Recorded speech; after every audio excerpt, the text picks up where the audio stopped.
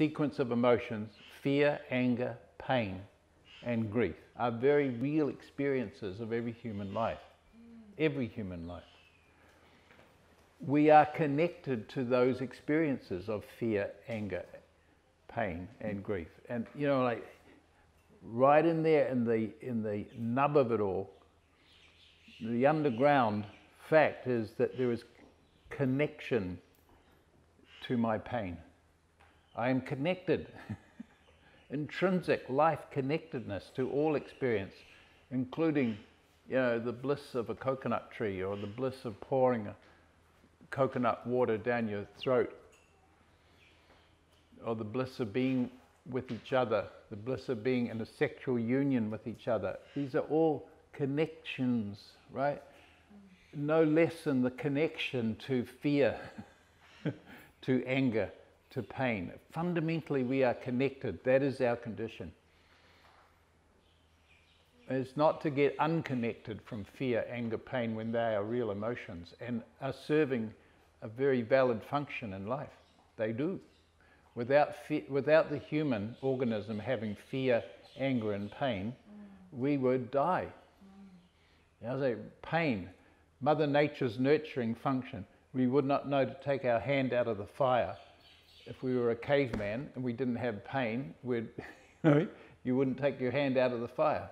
So it's Mother Nature's functioning to make corrections to keep us safe. This, this uh, phenomena of pain physical pain as well as emotional pain. We are connected to that pain. It's real. It is not, pain is not the enemy. We're not trying to do yoga or become more aware of the, the one who is in pain. more aware of awareness until pain suddenly sort of dissolves or something. Mm. I think this is the very activity of humanity that is causing the pain. It is causing dissociation from life, from each other. It causes fear, anger, pain. These doctrines of, of no object, of awareness only. It's a beautiful idea that is taught in the traditions, and yoga states that that arises as a siddhi naturally. You can't make it happen. So that's not what we practice we practice direct intimacy with life, body, breath, and relationship in that order.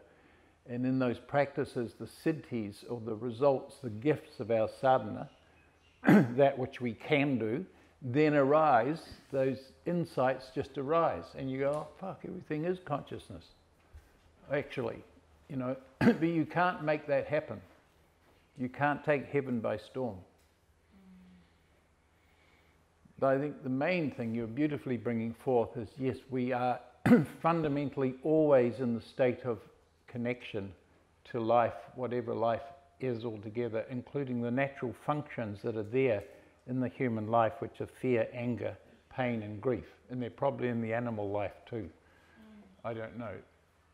Where we just allow the fact of, you know, there is pain.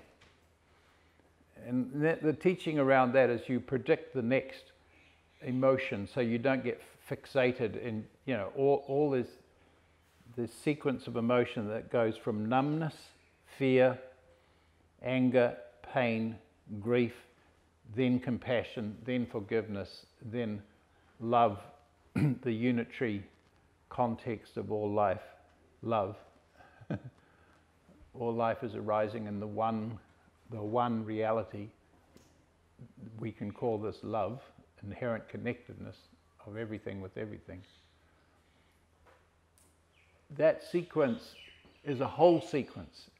No emotion arises in isolation from any other emotion. You're angry because you're, you've been fearful.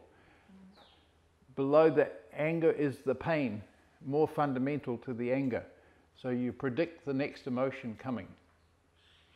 I'm, in, I'm, you know, I'm angry, but really, why am I angry? I'm in pain. So be willing to go to pain and then willing to go to grief for the whole shoddy deal that's been dished up to me and everybody else. Humanity's behavior on humanity is a very real thing to have a lot of grief about. So you get to grief. And in grief, there are these siddhis or um, the spontaneous arising of compassion for ourselves and for each other and for everybody dished up such terrible uh, human conditions. Everybody. And then you're, you know, this is the compassion of the Buddha, the, the love of Christ, is that that's what's there then. But you can't get there through an idealism. You can't be forgiving unless you're going through all the other stages of emotions in relationship to somebody.